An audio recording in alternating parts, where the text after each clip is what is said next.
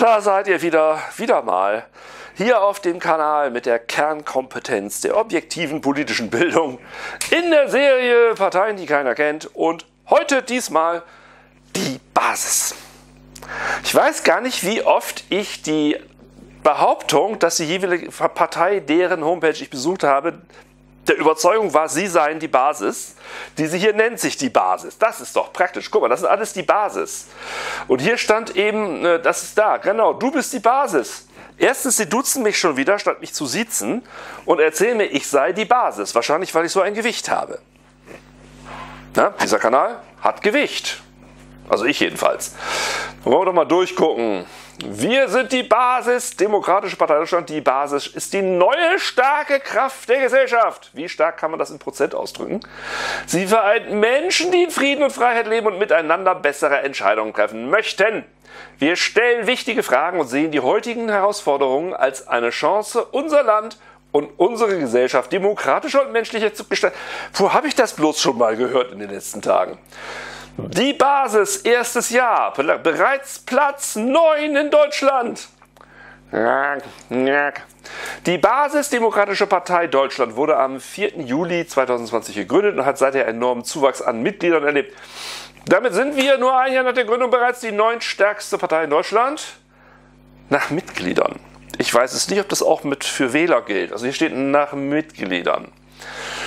Äh, die AfD ist direkt vor der Basis übrigens, mit nur 4000 Mitgliedern Vorsprung. Die Linke hat schon fast doppelt so viele. Mitgliederentwicklung, ja. Das heißt also, das Wichtigste, was diese Partei mir als allererstes auf ihrer Homepage zeigen möchte, ist, wir wachsen. Nicht, wir wollen dies oder wir wollen das, sondern wir wachsen. Das ist das nehme ich jetzt so mal hin, dass das für die sehr, sehr wichtig ist, dass ich das weiß. Bundestagswahl 2021. Die Basis ist in allen 16 Bundesländern mit Landesverbänden und zahlreichen Kreisverbänden vertreten und zur Bundestagswahl 2021 zugelassen. Informiere dich zu unseren Kandidatinnen und Kandidaten zur Bundestagswahl am Sonntag, dem so vierten Bahn. Fünf Tage, drei Stunden, 47 Minuten. Dann wissen wir noch, wie lange es hin ist, bis ich mein Kreuzchen nicht mache. So, mehr Infos zu den Wahlen. Ja, von den Wahlen will ich nichts wissen. Forderung. Wir sehen die vielen Ursachen existenzieller Not, die Spaltung, die sich durch Familien und Freundschaft zieht. Und wir sehen eins, mit den Maßnahmen, die seit 2020 getroffen wurden, geht der Verlust unserer freiheitlich-demokratischen Grundordnung auf dem Wege des Notstandsrechts einher. Äh, die Basis fordert sofortige Aufhebung der einschränkenden Grundrechte. Ja, was sie meinen, ist natürlich äh, freie Bahn für Corona. Wir sind für den Erhalt des Bargelds, wir verhindern, dass alle Zahlungen überwachbar werden. Also für zum Finanzamt. Die Basis setzt sich für nachvollziehbare Transparenzberichte für öffentliche Projekte ein. Ja, das wäre schön. Da wäre ich auch für. Wir werden staatliche Eingriffe in die Privatsphäre auf das geringstmögliche Maß beschränken. Aus Achtsamkeit der Umwelt gegenüber dulden wir Fracking zur Gewinnung von Erdgas und Erdöl nicht. Transporte von lebenden Tieren über weite Strecken wird es mit uns nicht mehr geben. Da transportiert man tote Tiere, schätze ich mal. Weil transportiert werden müssen sie ja. Wir, wir, stehen für ganzheitliche und globale Ansätze bei der Bewertung von Umweltschäden, zum Beispiel Bau, Bau von Elektroautos. Äh, ich weiß nicht, könnt ihr das lesen? Ist das groß genug? Wir wenden uns gegen Aufrüstungszwänge durch NATO-Vorgaben. Also man merkt schon, sie sind. Äh, warum eine neue weder rechts noch linkslastige Opposition in den Bundestag muss? Ich habe eben, ja, ich, ich muss ja erstmal googeln, wo deren Homepage ist. Und beim Darüberfliegen habe ich zufällig die, die, die ersten zwei Zeilen von der Wikipedia schon mitgekriegt. Und da steht, eine Corona-Partei, also eine Anti-Corona-Partei ist es im Grunde. Das, was jetzt hier ist, ist das Typische wie damals bei den Grünen. Grün allein kann man nicht wählen, also braucht man Familie, Erziehung, Toleranz, Wissenschaft, Finanzen, bla bla bla. Das machen die hier auch. Die erzählen da irgendwas dazu und mal gucken, was daraus wird. Äh, warum eine neue Blablabla? Demokratie aus tiefstem Herzen. Die Basis ist die Mitmachpartei für alle Bürgerinnen und Bürger, für das gesamte politische Themenspektrum und für ein neues Miteinander. Wir stehen für ein achtsames Miteinander, für unsere Freiheit und für Selbstbestimmung. Ist das jetzt rechts oder links? Lobby für die Menschen. Die Politikverdrossenheit der letzten Jahre näherte sich auch aus der Ohnmacht gegenüber der herkömmlichen Politik, das ist allerdings richtig, wäre ein Beispiel dafür. Wir ebnen den Weg für eine Lobby, die für die Menschen selbst einsteht. Da braucht man Lobbyisten für, für eine Lobby. Ne? So funktioniert das ja auch jetzt schon. Zeit des Politikwandels. Die Menschen haben die Nase voll von Lobbyismus, das ist unzweifelhaft wahr, für Partikularinteressen, Berufspolitikern, Täuschungen und Verboten, die über unsere Köpfe hinweg angeordnet werden. Also soweit ich weiß, wenn sie sich auf Corona jetzt bezieht, die Verbote werden von dem, von dem weitesten Teil, von dem deutlich weitesten Teil der Bevölkerung unterstützt. Also es ist nur über eure Köpfe hinweg. Die Maßnahmenkrise rund um Covid-19, jetzt kommen wir zum Punkt, hat dieses schon lange existierende Demokratiedefizit deutlich zutage befördert, ist dabei selbst nur ein Symptom und nicht Ursache. Vielfalt und politischer Wille, wir denken nicht in Kategorien von rechts, links oder Mitte. Die Basis vertritt den Konsens und den Willen des ganzen Volkes. Ich weiß nicht, weiß das Volk davon? Ist das Volk derselben Meinung? Das lässt sich leicht mit Prozenten überprüfen, ob die das auch so sehen. Unsere vier Säulen, habt ihr eine Baugenehmigung?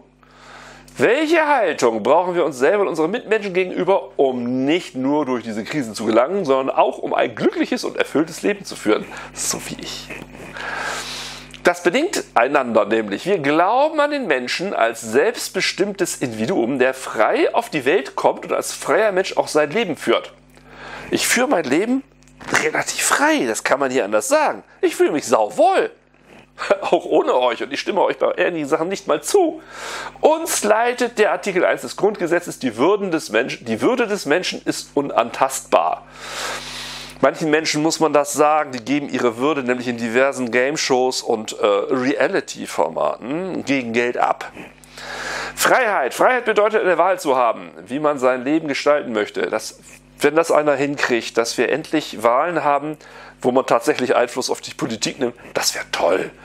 Wir kommen alle als freie Menschen auf die Welt und die Grundrechte dieses Landes schützen uns vor Übergriffen Einzelner oder des Staates. Das sehe ich als Feststellung, wie es jetzt schon ist. Die Freiheitsrechte sind die wichtigsten Grundrechte. Das ist auch richtig. Machtbegrenzung, das Zusammenleben der Bürgerinnen und Bürger erfordert von jeder Person die Übernahme von Verantwortung im Sinne von Eigen- und Fremdverantwortung. Ja, manchmal finde ich es auch ein bisschen krass, was ich für Formulare ausfüllen muss, wenn ich in meinem Garten einen Baum umsensen möchte. So von wegen Eigenverantwortung. Oh nein, Sonnenstoßformulare. Äh, Macht muss dem gesellschaftlichen Wohl und Mehrwert dienen. Ein Missbrauch von Macht muss verhindert werden. Ich habe bei anderen Parteien habe ich schon gesagt, das versuchen Menschen und Weltverbesserer seit Jahrhunderten. Und die Macht wird von denen, die sie haben, immer missbraucht. Wenn die die Macht hätten, würden sie sie auch missbrauchen. Achtsamkeit.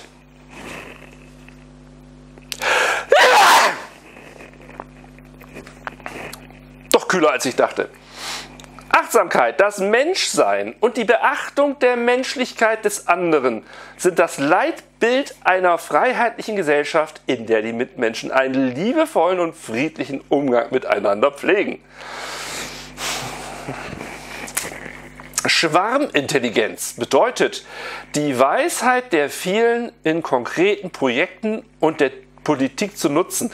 De facto bedeutet Schwarmintelligenz, mit, den, mit der Intelligenz von vielen die Blödheit der Mehrheit irgendwie auszugleichen. Das ist ja leider so. Ne? Nur wenn man sagt Schwarmintelligenz, viele, viele Menschen sind schlau, das wird von denen torpediert, die blöd sind. das ist immer ein Problem. Komplexe Probleme und Herausforderungen werden besser gelöst von fachübergreifend zusammengesetzten Teams und durch die Kreativität und den Ideenreichtum vieler unterschiedlicher Menschen. Ja, wenn das alles halbwegs intelligenten Menschen sind, macht das Stimmen. Oh, geht ja noch weiter hier. Ah, wir haben es aber gleich geschafft hier. Äh, was ist Basisdemokratie? Basisdemokratie bedeutet, die Bürgerinnen und Bürger entscheiden über Lösungswege, die in basisdemokratischen Gruppen erarbeitet wurden. Sie wählen Lösungen, die nicht für Interessengruppen, sondern für Menschen gemacht sind. Inwieweit unterscheidet sich das von dem Jetzt-Zustand? Auch jetzt werden immer Leute zusammengesetzt, die dann irgendwas entscheiden. Das, man kann natürlich jetzt auf, jedem, auf jeder Kreisebene Leute zusammensetzen, die dann für den Bund arbeiten. Dann muss nur irgendein weiterer Ausschuss diese Tausenden von Lösungsausschließen, ihr merkt schon, wohin das führt. Der Wille der Gesamtheit setzt sich also gegenüber Einzelinteressenten durch. Solche Entscheidungen sind wirklich demokratisch. Sie dienen dem Ganzen und sind nachhaltig. War das Micha? Irgendwer hat gesagt hier, ähm, Diktatur der Mehrheit da bleiben dann Minderheiten auf der Strecke, weil die Mehrheit will ja dies und das und was dann. Ich glaube, ein schönes Beispiel ist dieser, diese dänische Minderheit. Ne? Wenn wir also hier die, Demo, die, die Diktatur der Mehrheit hätten, dann würde diesen, diese Dänen würden keine Rolle spielen, weil sie nicht im, nicht im entferntesten in irgendeiner Form mit der Mehrheit zu tun haben. Das gilt übrigens auch für die Corona- äh, Skeptiker. Die sind nämlich auch in der Minderheit. Und wenn die wie die Diktatur der Mehrheit hätten, dann würdet ihr alle nur noch mit Gasmasken rumlaufen. Basisdemokratie bedeutet damit auch das Ende der Klientelpolitik. Ja, das wäre schön. Dafür müsste man erstmal die Politiker irgendwie ersetzen. Das Ende einer Politik von oben nach unten und das Ende der reaktiven Politik der letzten Jahre. Wir, also alle Bürgerinnen und Bürger, sind beteiligt an den Lösungen für die Zukunft, die mittels Legislative und Exekutive umgesetzt werden. Hm. Das ist ja, klingt ja alles ganz schön. Aber ja, ich meine, da, Ende der Corona-Krise, 10-Punkte-Programm, bla bla bla. Ja, also allein deswegen seid ihr bei mir raus. Sorry, ich bin doppelt geimpft, jawohl, und trage trotzdem noch Maske draußen. Also zumindest da, wo es vorgeschrieben ist. So angenehm finde ich die nun auch wieder nicht. Ähm, ja, und nu? Ja, irgendwie bla bla, ne? Naja, sei es drum. Sei es drum, das sagt euch mit allem, äh, allem Nachdruck und allem politischen Wissen der Mann, der seine Kamera selber ausschalten muss.